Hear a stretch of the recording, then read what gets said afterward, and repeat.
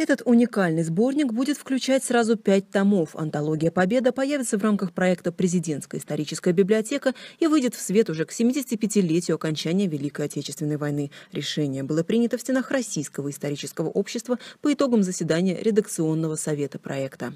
Впервые в истории современной России под одним переплетом будут собраны произведения, созданные и, что самое э, важное, изданные в период Великой Отечественной войны. Ну, отмечу также, что в наших планах выпуск целой серии э, книг под титулом «Президентская историческая библиотека». Это и русская историческая проза, и всемирная историческая книга. Пятитомник включит в себя как произведения известных авторов, так и работы, которые до последнего времени оставались за пределами внимания широкого круга читателей. Это и пьесы, написанные и частично поставленные на сцене в годы войны, и публицистика, в том числе военных корреспондентов, и даже детская литература. Выпущена антология будет сразу в двух вариантах.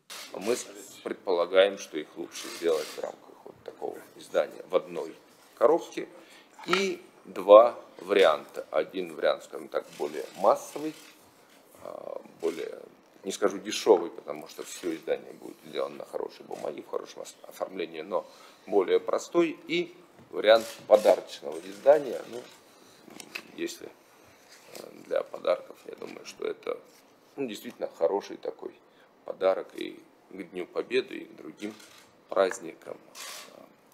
Первые два тома будут посвящены военной прозе, остальные три – поэзии, детской литературе и публицистике. В сборник войдут произведения Константина Паустовского и Валентина Катаева, Ильи Оренбурга, Смыла Маршака и многих других. Отбором текстов займется специально созданная комиссия. То есть это реальная летопись э, войны во всех ее перипетиях. Мы знаем, что страна Э, воевала на фронтах, страна готовила победу в тылу, но страна еще и продолжала издавать книги. Это э, вполне очевидная вещь, но никогда этот корпус произведений с такой полнотой не был представлен.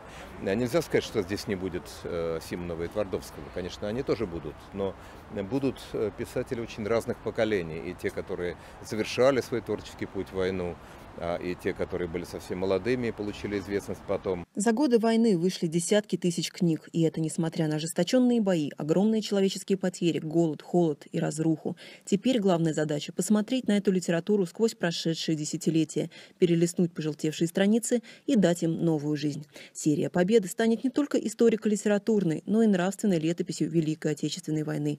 И именно поэтому она должна стать доступной массовому читателю. Муниципальные библиотеки и школьные библиотеки библиотеки. В совокупности это почти 100 тысяч э, библиотек.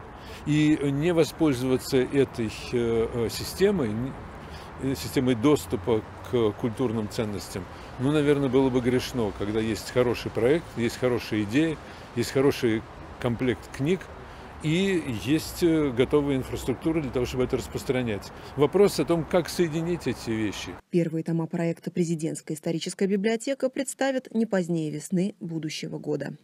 Служба информации Российского исторического общества.